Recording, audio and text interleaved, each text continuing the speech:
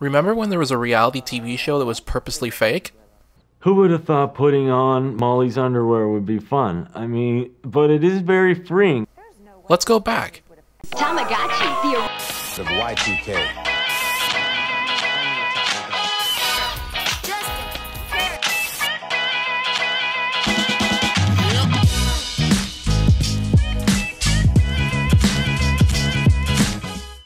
The year is 2003. The Return of the King wins 11 Oscars, including Best Picture. Kids are letting it rip with Beyblades, and the United States finds a hobo living in a hole, causing the country to start calling French fries freedom fries, or something like that. Lance Armstrong wins his fifth tour to freedom, and Arnold Schwarzenegger becomes the governor of California, two men who will surely never be disgraced. Ay. A massive power outage plagues America, but that doesn't stop Spike TV from making its debut, and one of the shows that premiered in September was The Joe Schmo Show. Spike TV was dubbed the television network for men, and it was the pinnacle of early 2000s trash TV. Has it aged well? Absolutely not. But there was something about television in the early 2000s. It was like the Wild West for reality television. You could get away with stuff that you couldn't get away with today. And one example of that is The Joe Schmo Show. The concept of the Joe Schmo show was contestants went on a reality show that was similar to Big Brother, but they lived in a giant mansion.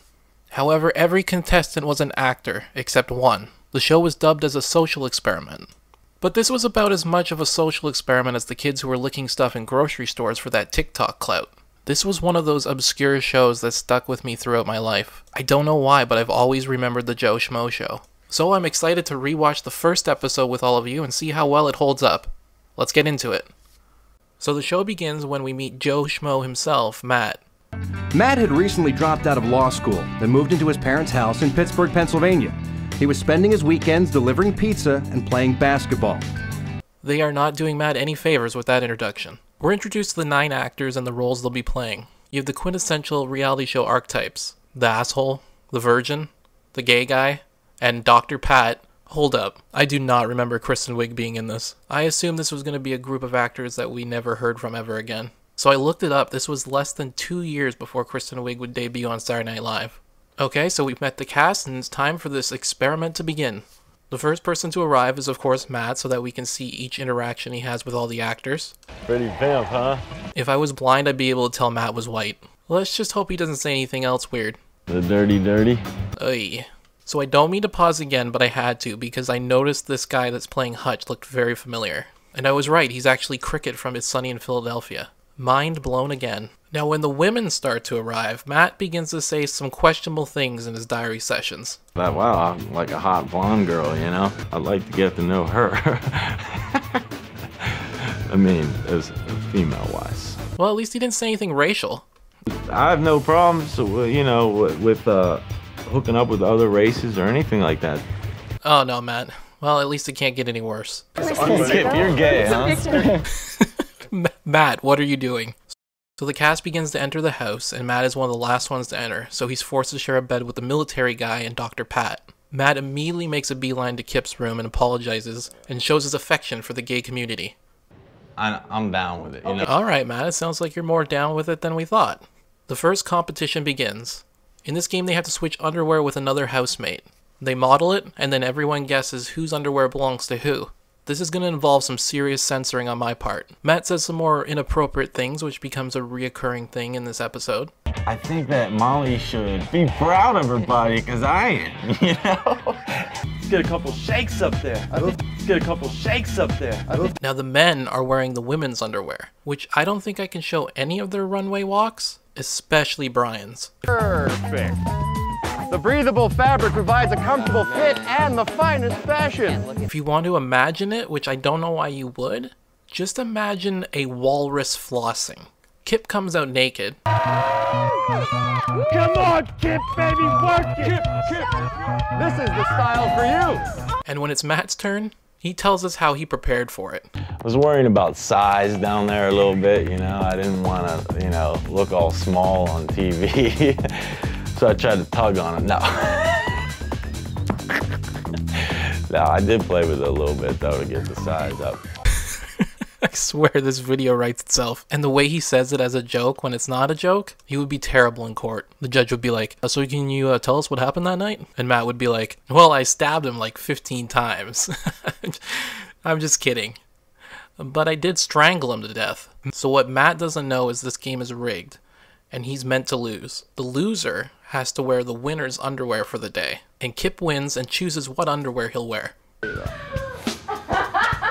Oh, now that they're beginning to settle in, Earl settles in a little too much.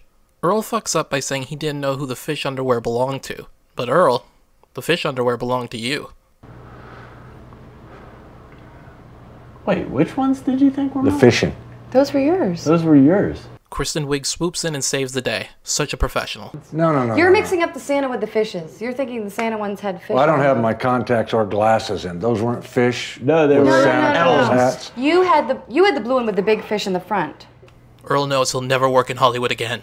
Next up is dinner, where it's established that Kip can't swim, and Hutch begins to go in as his role of the asshole by saying some uncomfortable things at the table. Matt decides to meet Hutch in the pool after dinner and explain he needs to chill and he's getting on the other house guest's nerves. But the conversation takes a turn as the two connect on something they both love to do. I masturbate. You masturbate. Do you not masturbate? I do. I want to hear you say it. I masturbate. All right. So, moving on, Matt has a sit down with Dr. Pat. Kristen Wiig is playing Dr. Pat as a marriage counselor who has been married three times, and Matt asks her about it. My first marriage, I was very young, and I married someone really young, and he was a car stereo installer, and it just I got married too young. It's Right. just the case of getting married too young. Kristen Wiig really explains herself well out of those three marriages. It even convinced me, and it's only day one, so you have to work up to the craziness that will be Dr. Pat. The group gets together to share their personal comfort items that they brought from home, and honestly, I'm just gonna skip over this whole segment. The only notable thing is that Dr. Pat brings out her therapy puppets. I like to think Kristen Wiig's therapy puppets is what inspired Bill Hader's therapy puppet sketch on SNL. Matt forms an alliance with Gina, and then later with Ashley. The producers want Ashley to form an alliance with Matt so that she can screw him over in the end, because she's playing the rich bitch. The next game is for the immunity robe, and it has the most incredible name for a game ever. It's a little game we like to call Hands on a High Priced Hooker. We're introduced to Tanya. it says the hooker under her name. That is one hell of an IMDb credit. The hooker in question is actually porn star Tawny Roberts. I know this because I googled her. For research purposes only, of course. Well, I think I found the thumbnail for this video. Gotta get those views any way I can. Hello, pervs who clicked on this. Welcome to my channel. The game is simple. They'll draw to see where they put their hand on the hooker. The first person to let go has to sleep in the laundry room, and the last person to let go gets immunity. You know how they do with the contest to win a car? This is one of the rare times you'll see a show turn a woman into a literal object. Matt draws his hand on her right breast. Then she takes off her bikini top. They actually show this too in the episode, by the way. I don't remember there being nudity allowed on Spike TV, but here we are. This video is definitely getting demonetized. And remember, there is no leaning on the hooker table. If I had a dollar for every time I heard that. Ready. Set. Oh. Touch that hooker. There are some classic television game show lines, like The Price is Right's Come On Down or Millionaires, Is That Your Final Answer? I personally would like to nominate this phrase as one of those iconic television lines. Touch that hooker. The plan for the competition is to have the game come down to Matt and Hutch. However, Matt does something unexpected that leaves the producers scrambling. Sharing that bed is ridiculous. And I won't do it another night. Holy mackerel. You're kidding me. Now that Matt is out, Hutch plays up the asshole role even more by bullying Kip into leaving the game, and then Molly by saying she's sinning right now since she's playing the religious virgin. Hutch is declared the winner and can't be voted out this week. After the competition, Ashley finds Gina's notes under Gina's bed. On there is a list of all the other contestants, and beside their names are some unfortunate notes. Ashley basically tells the whole house, and this sets up Gina's future eviction. Later on, Kip decides they should do a competition to impersonate each other. Okay, let me let me think of it. What are you kidding me, man? You've got to be kidding me, man. Sure think. Oh Do you think that I don't like clothes? This is all a ploy to give Matt the master bedroom, because the producers want to get Matt out of the laundry room where they can keep an eye on him. He wins. You win, hands down. That was great. At the end of the show, we have the Rags to Riches eviction ceremony, which is basically a spoof of Survivor's tribal council meeting. One of you is about to say goodbye to high society and return to your sad existence, working for the man. I feel you, Matt. I've had the same expression on my face throughout this entire episode. All the votes are obviously fake, except for Matt, who votes for Molly to be evicted. Gina gets the boot, and we get a line that may just be better than the tribe has spoken. Ashes to ashes, dust to dust. Gina, you're dead to us.